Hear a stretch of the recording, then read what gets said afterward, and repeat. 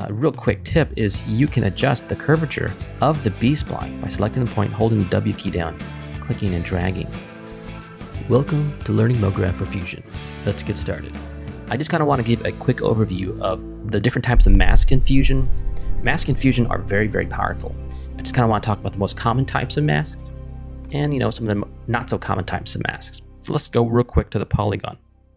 Now, as I've said before, anytime you click any node you selected, its features, its parameters show up right here in the tools palette. So you can adjust all the different features for that particular node. So the polygon, it has these points, right? These points make up this mask. Now, uh, right now it's set to uh, border. I'm just going to put it to a solid for now. So these vertices, this is very familiar to you, right? You got points. These points make up a shape right? You can make the shape whatever you want. I've got the polygon node selected. Here are my controls, right? I can choose to show, turn off the controls. Um, basically the level is the opacity, right? The opacity of that mask. So if I have multiple masks stacked up on each other, I can control the different levels of opacity for each mask. These all give you different options, right? Check them out. Uh, soft edge. I want to give this mask a nice soft edge. So it's a feather. In, in After Effects, it would be the same thing.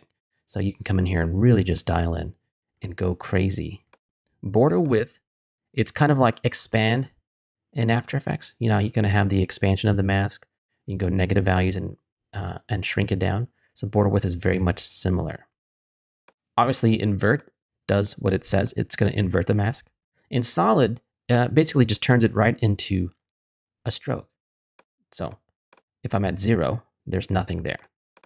But if I go negative or positive, there you go. I basically have a stroke.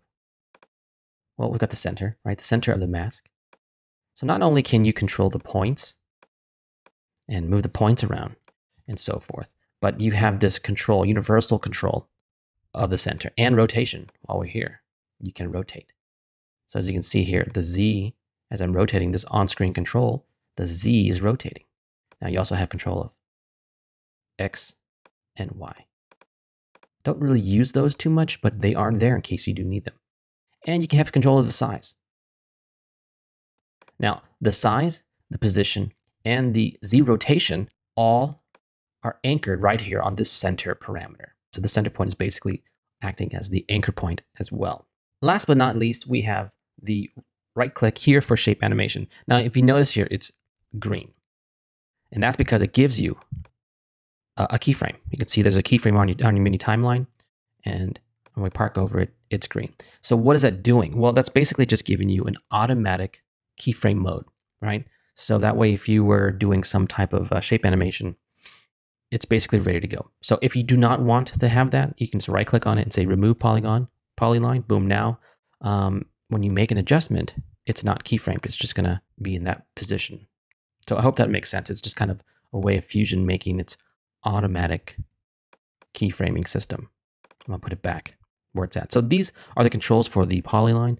The B-spline is uh, is similar. You've got your opacity, you've got a soft edge, border width, center, size, rotation, pretty much the same thing. The difference of the B-spline is that the points are automatically curved based on how many points there are. Uh, a real quick tip is you can adjust the curvature of the B-spline by selecting the point, holding the W key down, clicking and dragging. So now I can make this as sharp as I want to.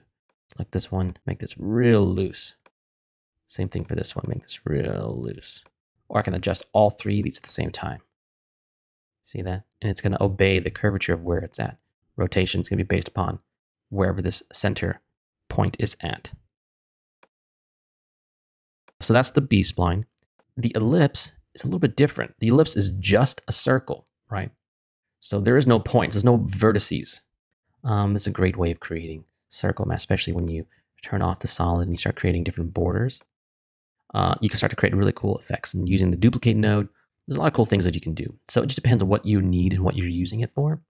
Um, but the way you control it is you've got these little handles that pop up here. I'm going to bring down the level so we can see we've got these handles that light up and that's how you can control it. So if, if I click on these diagonal pieces, I can scale this circle up and down. As you can see, the height and width are moving as well. Or if I just want to adjust the width, just grab that or the height and just gra grab that. So lots of different things you can do. So, you know, I can now control the angle.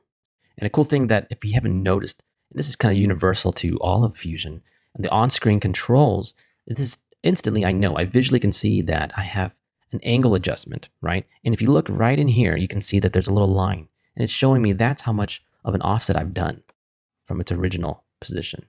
And even as I'm dragging, it gives you uh, a little representation to show on like a pie graph where I was at and where I'm going to. So those are just kind of nice little things. If you notice though, it doesn't have that um, that path animation, right? That's because there's no points, there's no vertices. So the only way you can animate it is with your center or your width or height. And same thing for the rectangle, which is the next one. You know, it's basically the same thing, except for it's just a rectangle. The only thing that's different is that you can also you can control the rate, the corner radius. So now you can kind of make this make a circle if you wanted to. And the triangle is an interesting one. It's kind of a variation of the three. It does not have a center, as you can tell. There's no center, no rotation.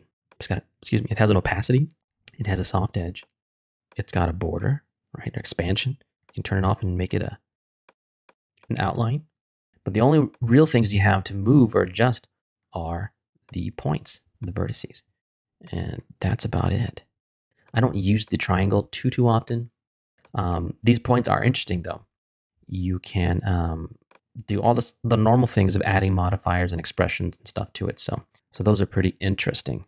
Uh, the other types that are more image-based masks are the bitmap, the ranges, the wand, and the mask paint. So the bitmap is a mask that is used uh, quite often.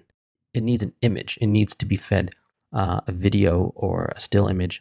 For example, let's just bring this up here. Let's just say that we actually have this merge here, but we wanted to make this whole thing a mask. So I can pipe this into the bitmap. Right now, it's, it's seeking to make a mask from the alpha channel. Well, there's no alpha because this merge has a background and text. So there's no alpha at all, right? So I'm going to go to the bitmap. And I'm going to say, you know what? Use luminance. So now it's trying to extract a matte, a mask, based on the luminance values. So this is not very bright, right? It's not very contrasty. So that's the type of matte you're going to get. So you can use these adjustments here to really bring in your matte as best as possible. So now I'm basically making a matte for my type. And I can extract data out of this image to make a matte for my type. So let's just go ahead and add a color corrector. Fix that. Put this bitmap on here. Let's load the color corrector. And let's just change the color. So I've essentially just now changed the color of just the letters. Why? Because I'm using this image, putting it into a bitmap. I've controlled it to where now I'm just isolating the text. And that's what's adjusting the color. If I turn this mask off, as you can see, it's just changed everything green. And you don't want that. You just want it just on those letters. So we're using this bitmap as a way of extracting data, in this case, luminance values, for our text. So that's pretty cool. And that's kind of how you, you would use it. Ranges is very similar. As you can see, you've got these ranges here where you can um, select a mask based on the shadows, midtones, highlights. And you can also look at the different types of channels, red, green, blue, alpha. And you can adjust the parameters to really dial in uh, the mask. So it's, it's very similar to a bitmap, but uh, it just gives you a lot more control. Magic Wand is what it sounds like. It's got a Magic Wand. As you can see here, there's a little on-screen control to pull from. So let's go ahead and kill this color corrector, turn off that. We're going to pipe our image of our text into our wand. And as you can see right away, it's looking to extract the matte, right? So it found this color. It's seeking the RGB space. The channel's RGB.